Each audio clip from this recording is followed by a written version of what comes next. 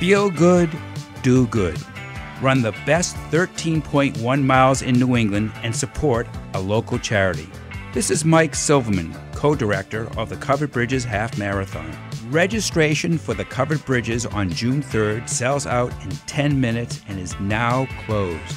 You can still run the Covered Bridges as local charities still have bibs available.